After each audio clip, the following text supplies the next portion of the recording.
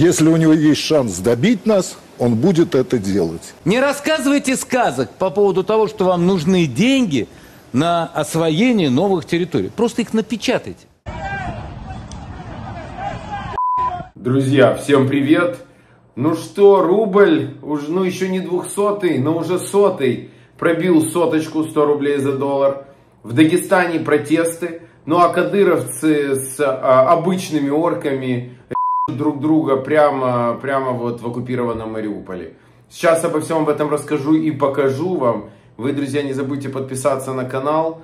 Нас пытаются отправить теневой бан. Русня атакует, пишет э, жалобы на наш канал. Выход один. Это ваш э, комментарий, а ваш шер, ваш лайк и, конечно, ваша подписка, если вдруг вы еще не подписаны. Сделайте, пожалуйста, это прямо сейчас. Спасибо. Начинаем. Э, и тут интересно, есть что рассказать. Ну, во-первых, прилет в э, Юрьевке Мариупольского района, база «Волна». В общем, волной смыло оккупантов. Сколько мы пока не знаем, но нормально так помыло, посмотрите.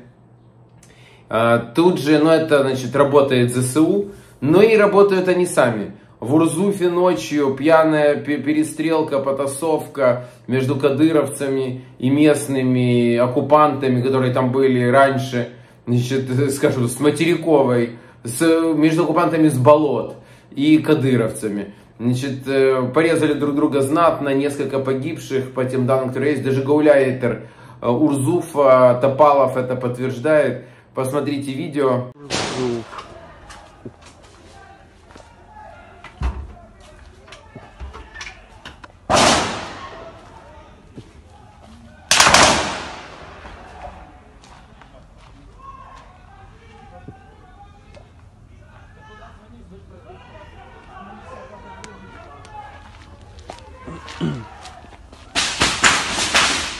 Пацаны, а там, а там кто?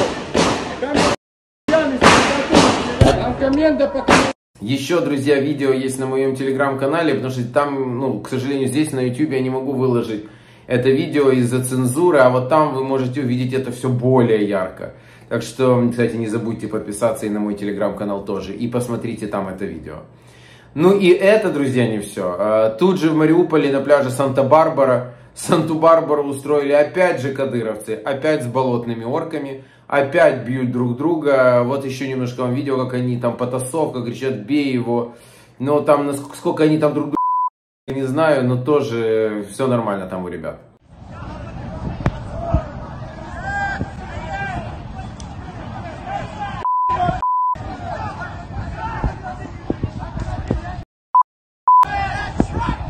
В общем, жаркое лето, им жарко, и мозги плавятся. Да и как он тут не расплавится, с одной стороны клепает ЗСУ, а с другой стороны приближается экономическая пятая точка для России. А, во-первых, курс доллара. Уже все, доллар пробил 100 рублей за доллар. И это впервые с марта 22 года. А, и дальше, и дальше, знаете, график такой у рубля только в одну сторону. Знаете, у рубля нет цели, у него есть путь. Путь этот э, в Тартарары. И вот, собственно говоря, он этот путь осуществляет. И на фоне этого начинают, э, знаете, где тонко там рвется. Дагестан. В Дагестане протесты. 150 э, людей перекрыли трассу Астрахань-Махачкала, потому что требуют просто им света и воды. У них живут без электричества и без воды. 21 век. Ну, знаете, так они живут, уже привыкли, живут так давно. Но когда совсем жарко становится, совсем неприятно. Посмотрите видео.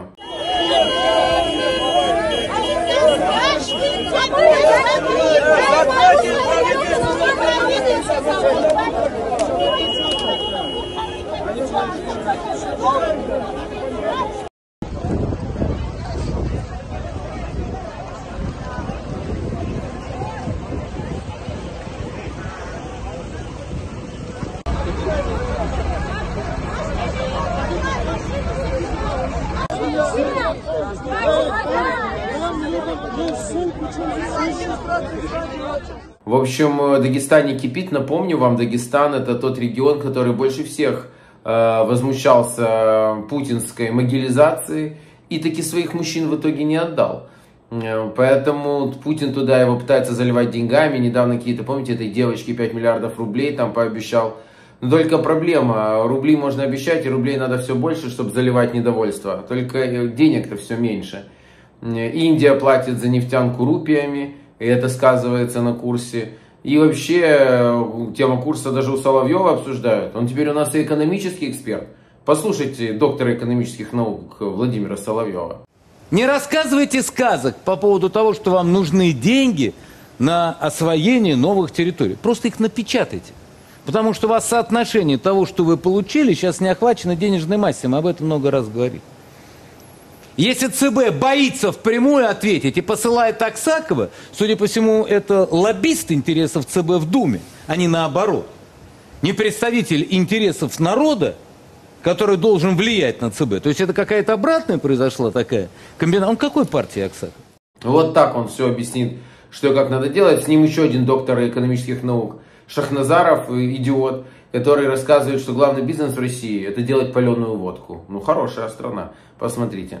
Я, если те, кто продают паленую водку по 6 лет получают, ну понятно, что это самый богатый бизнес. Понятно, что это самый богатый бизнес. На чем деньги делают? Почему? Каким образом? Что? Что произошло? Короче, как говорится, абсолютно солидарен с вами. Считаю, что это важнейший вообще. Э, и это имеет прямое отношение к тому, что происходит. Потому что это, так сказать, соотносится с тем, что происходит на фронте. Что... Ну и как закономерный итог этого Шахназаров говорит, Запад нас доконает. И тут э, уже от, отскока не будет. Друзья, сложно с этим э, поспорить. Опять войдем в этот прекрасный, блистательный мир. Но этого не будет.